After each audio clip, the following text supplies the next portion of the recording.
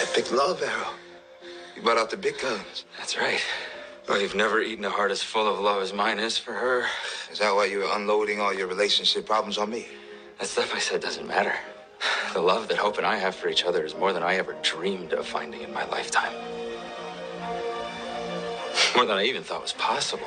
The only problem with our relationship is that I have no idea why she picked a guy like me in the first place. It's just my arrow talking. Is it? I don't really feel a difference.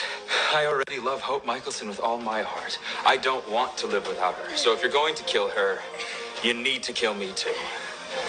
If you insist.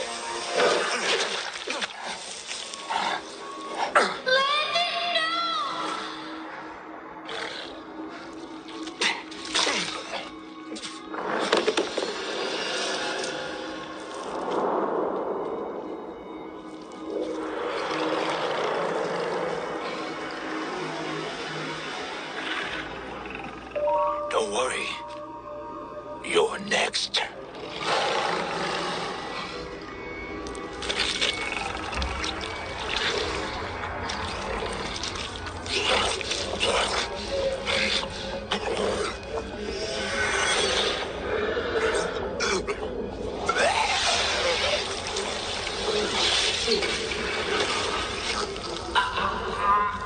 Your boyfriend's smarter than he looks.